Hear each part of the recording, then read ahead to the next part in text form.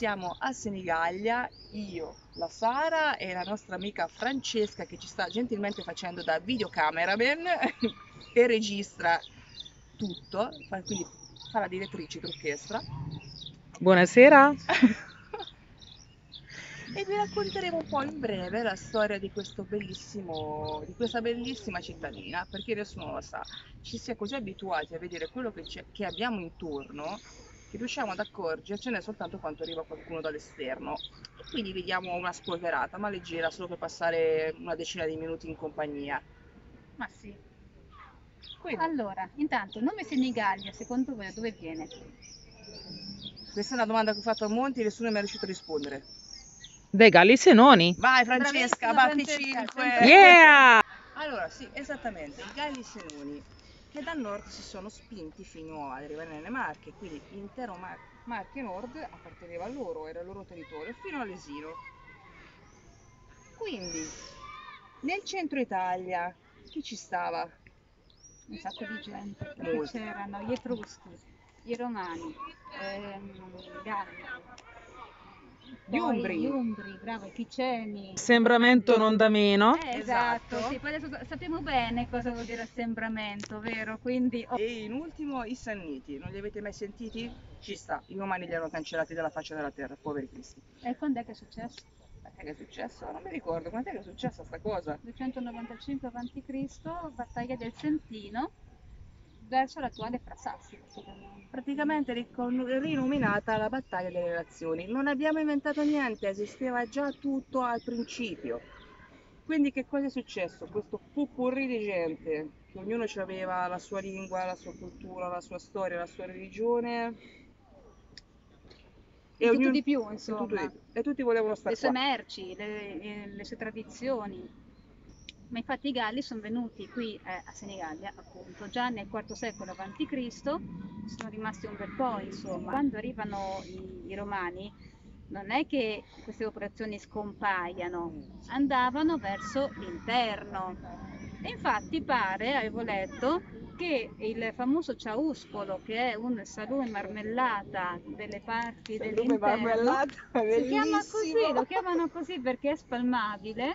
Lo Viene proprio dai Celti, viene proprio dai Galli, perché andando verso l'interno sono portati questa tradizione della marmellata delle composte. Quindi cosa è successo? Roma aumentava la sua potenza, quindi si affacciava sempre di più, si spostava verso l'interno, verso le Marche.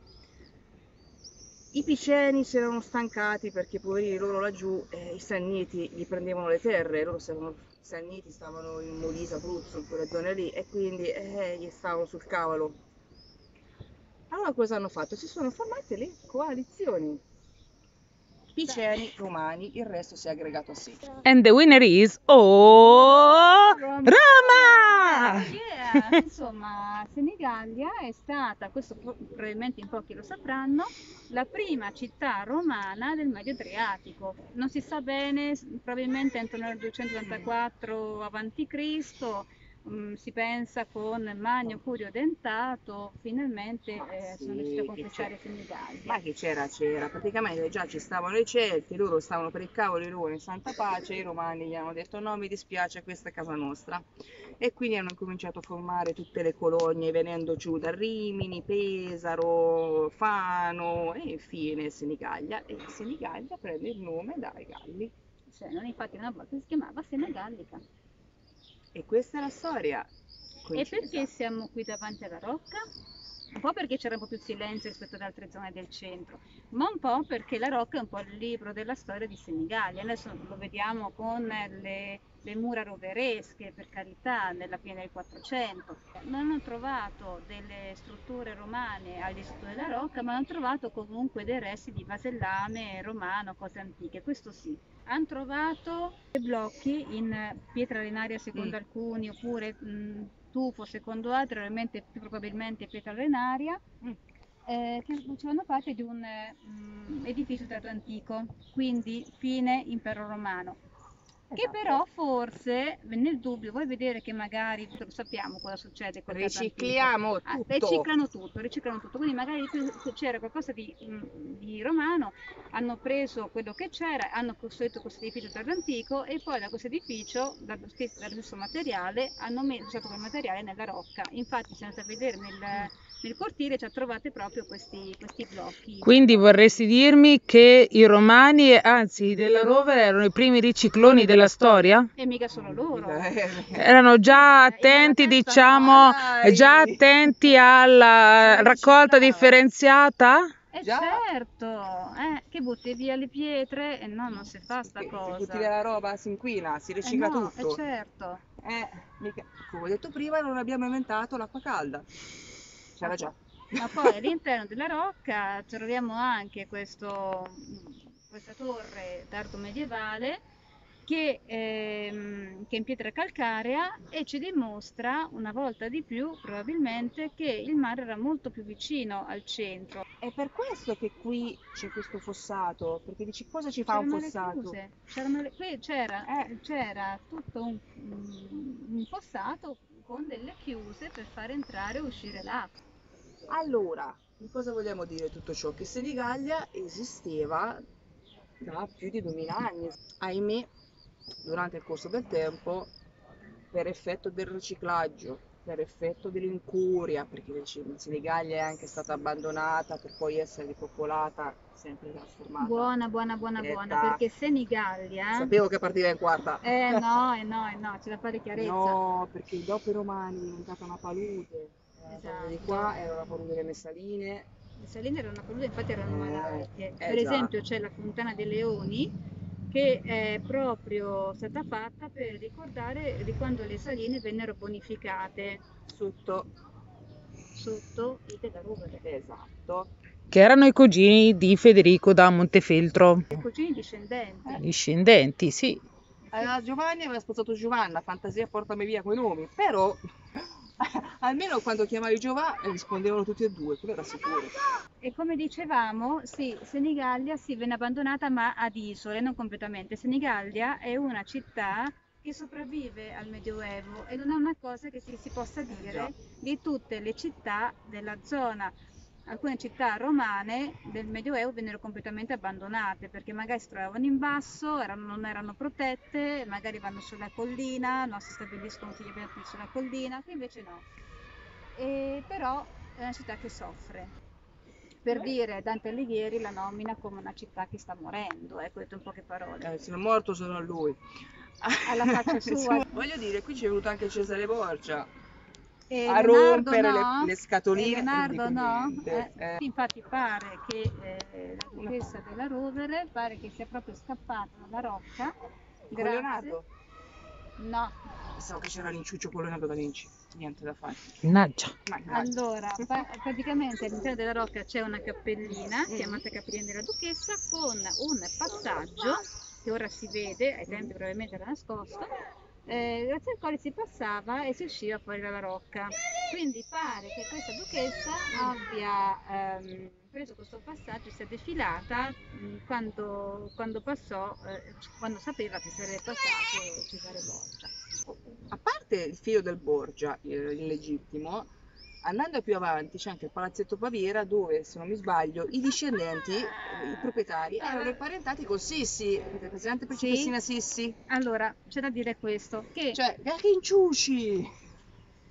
meglio, meglio del, della soppa, veramente. Allora, in pratica, ehm, viene mandato qui a Senigallia mh, Giovanni della Rovere. Lo zio di Giovanni della Rovere, Chi era? eh, Gian Giacomo Baviera, se non ricordo male, è arrivato quattro giorni prima di Giovanni della Rovere appunto per preparare il terreno. E con appunto i Baviera è stato costruito il palazzetto Baviera ovviamente. Gian Giacomo Baviera era Un praticamente un, cioè, un parente lontana di Sissi perché in pratica Sempre parentela. era un ramo della sua famiglia che del 300 si staccò ma Sì, che- è tutta una presa si- c'era un futuro imperatore che si incavolò col fratello perché non l'aveva votato e quindi caccia via il fratello una volta che diventa Ah, imperatore. questo è come l'Eurovision, che gli spagnoli si sono incavolati perché gli italiani Dai! li hanno votati. Uguale! Comunque a Senigallia c'è nato anche un papa, eh. Sì, Sì, Papa sì. Pio IX, Sì, sì, Esatto. Mastai, certo.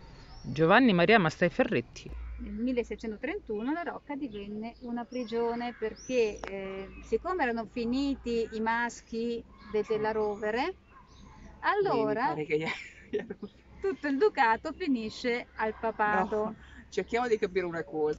Praticamente qui c'era una legge che diceva che queste terre erano in vicariato, in concessione del Vaticano, quindi e andavano in concessione solo esclusivamente figli maschi. Quindi finito eh, l'ultimo discendente maschio ha avuto solo femmine, una, Perché sennò le donne avrebbero comandato troppo bene, vero? Esatto. una e che cosa è successo? Il Vaticano ha voluto riprendersi quello che era suo. E così è finita la dinastia sia della Rovere che del Montefeltro di Urbino, perché erano- si erano imparentati. Era il ducato di Urbino. Mm. Ducato di Urbino. Sì, raga, Senigallia faceva parte del Ducato di Urbino, mettetevi il cuore in pace. In effetti tutto quello che era dentro la rocca è finito lassù. No, È finito a Firenze. è finito a Firenze, mia cara, perché l'ultima discendente del Montefeltro della Rovere, Vittoria, è andata in sposa a un Medici. E come dote, logicamente, suo nonno, perché il padre era morto, gli ha praticamente dato tutto quello che si poteva umanamente portare via, cioè tutto quello che si poteva staccare dal muro, staccare dal suolo, gliel'ha dato. Gli- Non gli ha dato le pietre perché... Troppo pesante. Esatto. Mm? Quindi, se tu vai a Firenze, non solo trovi tutto quello che è de- della Rovere e del Montefeltro, ma ti trovi anche metà dell'archivio storico di Urbino. Perché Federico da Montefeltro e sua moglie Battista Sforza sono a- dagli Uffizi? Per questo motivo qui. Preso il quadro, Vittoria si era messo sotto l'ascella ed è andato via. Insomma, prendi l'arte e mettila da parte. Esatto, letteralmente in questo caso. E qui mi verrebbe da dire, considerando che all'epoca non si lavora nemmeno tanto, immagino. Mamma mia, che schifo! Puzza, puzza. La- Vabbè, si Cosa? coprivano anche molto, Eh, eh, molte stoffe copriva. Sì, ma la puzza non si copre. cioè.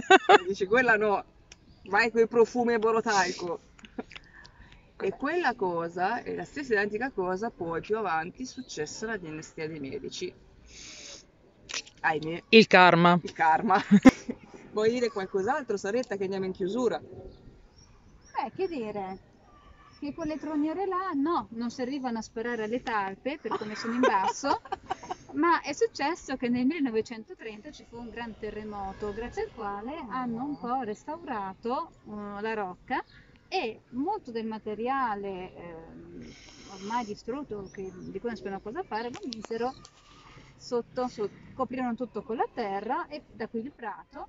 Quindi devi immaginare che in passato la rocca fosse più slanciata, che fosse più alta. Ti dico quello che pensavo che fosse. Io, pe- io pensavo che ci lanciassero l'olio caldo. Quello dall'alto, allora ci sono le caditoie che adesso da qui non si vedono, praticamente sotto... mm,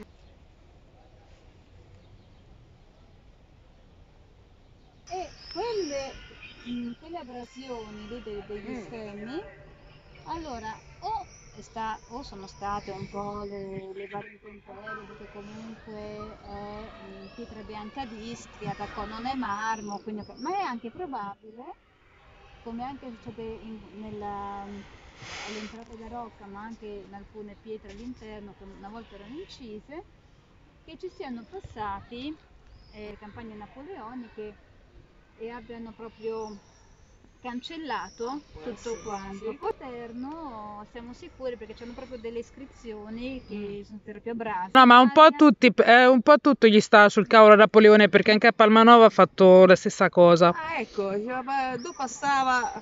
Do coio coio. Non era bisogno che si cancellasse niente perché praticamente era un acquitrino. Cioè noi abbiamo avuto il 4 maggio del 2014 l'alluvione, ma non è una cosa nuova perché comunque Senigallia aveva il mare, il fiume Misa, il torrente Penna e le saline come dicevamo erano a palude. Esatto. Quindi praticamente Senigallia era costantemente Allagata. alluvionata. È uno dei motivi per cui tante cose poi sono, sono andate perdute, perché comunque Senigallia faceva parte della Pentapoli bizantina. Qui diamo informazioni ai poverini che non sanno. Allora, Roma- ah, Rimini! Voi che Ah, ecco, mettetevi prima il cuore in pace, facevate parte della Pentapoli bizantina, quindi voi eravate insieme alle Marche. Mi dispiace. Ciao ciao, alla prossima. Abbiamo Mm, finito questa volta, grazie dell'attenzione e speriamo vi sia piaciuta questa idea. Se avete qualche località da proporci, magari nella zona, saremo felici di prenderli in considerazione. Arrivederci. Bye!